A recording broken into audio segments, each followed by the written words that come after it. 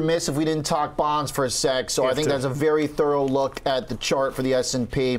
Talking bonds, you're looking at the chart for the 10-year, of course. We all are. Can you give me a minute thought here on bonds and how this plays into the situation?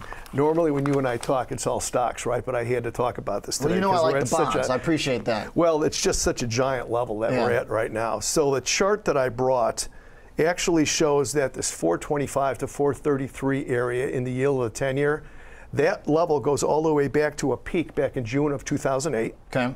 And then we came back and um, retested it in October of 2022, right? Which is right when the stock market was making a bottom, right? yeah. Right there.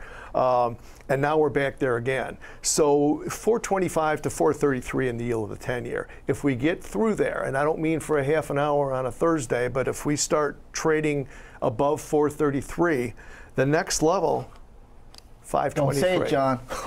523. 523 is the next level, and you know how the bond market trades, right? It will basically put you to sleep for three months, And then it'll all then happen. bam, bam, bam, and we have two or three weeks, and it's 70 or 80 basis points. That's that is my fear here that we start trading steadily above 533 in the 10 year. If that happens, I think that's going to put a lot of downward pressure on the stock market, and that's when you really have to start looking for that test of 4,200.